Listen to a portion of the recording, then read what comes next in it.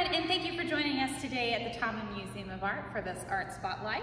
My name is Katrina, and I have with me Dr. Patrick Shaw Cable, Chief Curator and Deputy Director of Exhibitions and Collections. Thanks for joining me. Thank you. Um, so we're going to be talking about this particular piece within our permanent collection. It's called On the Towpath, A Halt by Theodore Robinson. And so, um, Patrick, I'm correct in thinking that Theodore Robinson was an American Impressionist, right? Yes.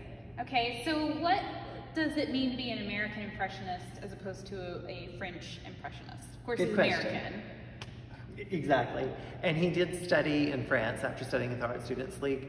He went to France, studied with Claude Monet, and became very close with him. So a lot of the Americans did that. They would go over to France, learn the latest style, uh, which was Impressionism, and be uh, become really inspired by it. But often, when they came back, they would tackle American subjects, some more consciously than others. But for example, if you think of French Impressionism, most of the artists were working in and around Paris. So you had either cityscapes or suburban scenes near the city. Whereas these artists, the American artists, might look at a farm or look at a garden in a rural area of Vermont, for example. So this sets it apart in terms of the subject matter, more of a rural subject matter here in America. Mm, fantastic. Um, talk a little bit about some of the impressionist details that you kind of see in this painting. Sure. And it's funny because when does this date from again? Um, it's 1893 to 94. Interesting. 1893 to 94. So this is actually two decades after Impressionism had started. Impressionism started in the mid 1870s in France.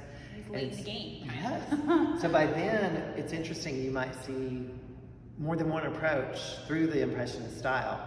But for example, Monet, late in his life, he started doing his water lilies that almost become symbolist and abstract. Mm, yeah, Uh, everybody's familiar with the water lilies. Yeah. But you asked about elements. I would say, for example, these shadows or the depiction of light hitting foliage up here. You see sort of the blue, violet, gray shadows.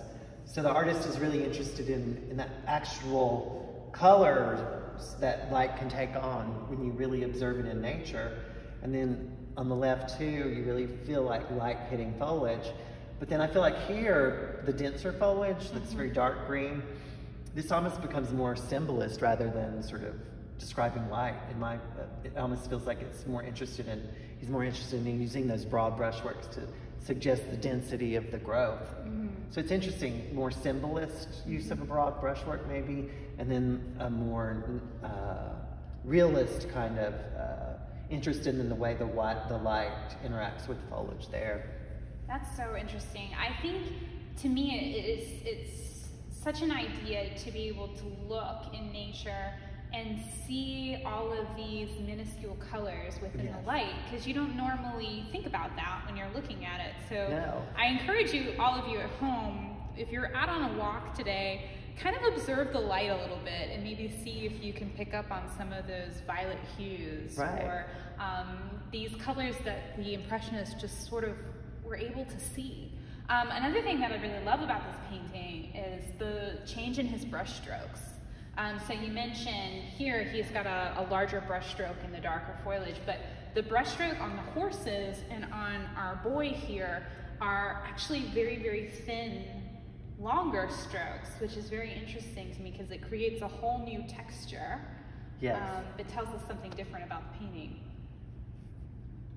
And there too, I think it's interesting how impressionist brushworks can be used in so many different ways. I feel like here the artist, as you said, they're thinner brushwork, but I think it really shows his skill. Even when you get really close, there's a lot of broad brushwork or, or loose handling, but it really comes together at a certain distance to, to describe a very naturalistic scene. And for me, I've always seen impressionist scenes as being um, very static for the most part. And here he's given us a little bit of movement. It's almost like he's Yes. suggesting to us that the tail of this horse is moving, whether by a gust of wind or maybe swatting away the flies. Yes, that's um, true. Which is which is really interesting um, showing of his talents in this way. And this is a really nice detail too. Or the details, the little highlights of blue and light green and white In on the the- cap, but in yeah. the face. that's an interesting vision of a young boy's face in shade under his cap, but in an overall ambient, really brightly lit. So you see how it's really catching and making his face glow with the sort of reflected side shadows.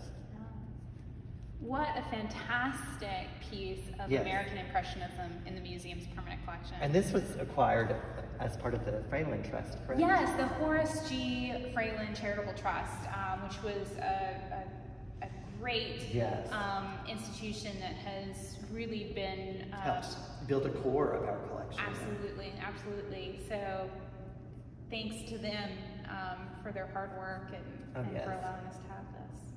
Thanks for joining me today, Patrick, and Thank thank, you. you. friends. Yes, thank um, we'll see you next time.